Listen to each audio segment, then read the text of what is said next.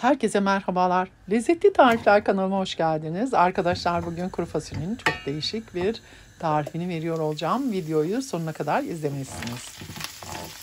Şimdi bir adet havucu küp küp doğradım.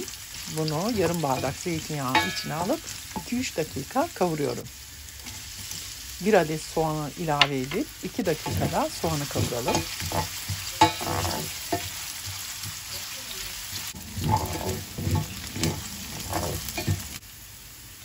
Tuzunu ilave edelim ve doğranmış sivri biberi ilave edelim.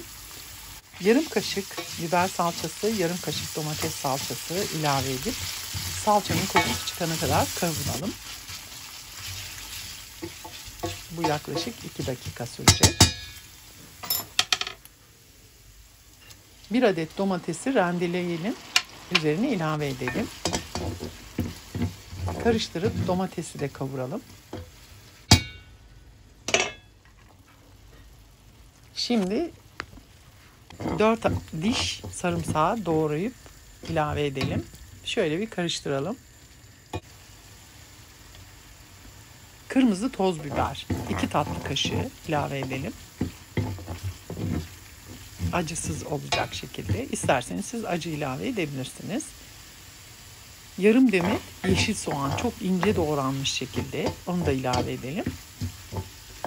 Şöyle bir karıştıralım.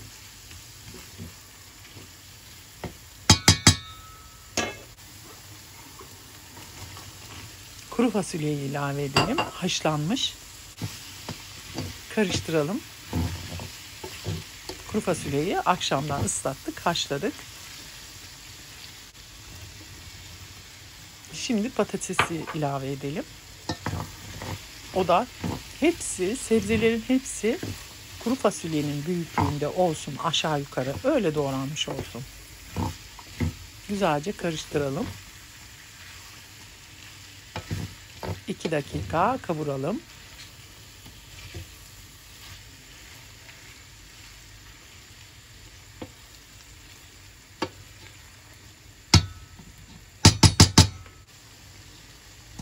Şimdi kaynamış suyunu ilave edelim.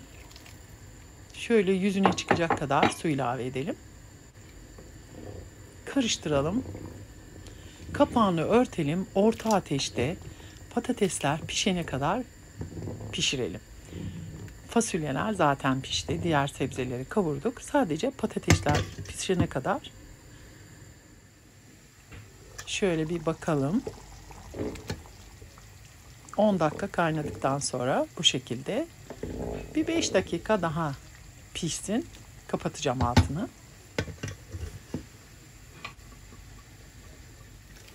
Evet, 5 dakika daha pişirdim. Bakın iyice koyulaştı. Şimdi ocağı kapatıyorum. 30 dakika dinlendirdikten sonra servis yapabiliriz arkadaşlar. İlla her yemeğe et koymamız gerekmiyor. Böyle sebzelerin içine fasulye veya nohut koyarak da yemek yapabiliriz. Aynı vitamini, etten aldığımız vitamini alabiliriz. Şimdi soğuduktan sonra servis yapabiliriz ılık, ılıkken. İsterseniz sıcakken de yiyebilirsiniz ama bu yemek soğuyunca daha güzel oluyor. Gördüğünüz gibi şahane oldu. Hem besleyici, hem vitaminli, hem de faydalı bir yemek. Arkadaşlar izlediğiniz için teşekkür ederim. Eğer videomu beğendiyseniz beğenme tuşuna basmayı, eğer kanalıma abone değilseniz abone olmayı, gelecek tariflerden haberdar olmak için bildirim zilini açmayı unutmayın. Gelecek tariflerde görüşmek üzere. Hoşçakalın, sağlıkla kalın. Bu yemeğin yanında pilav çok hoş gider. Bir de cacık. Ben şöyle pilavla da servis yaptım. Onu da videonun sonunda görebilirsiniz. Bu şekilde bakın.